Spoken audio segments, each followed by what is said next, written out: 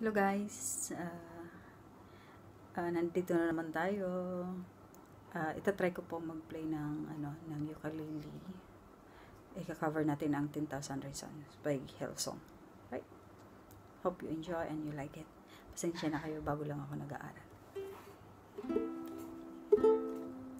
Bless, bless the Lord.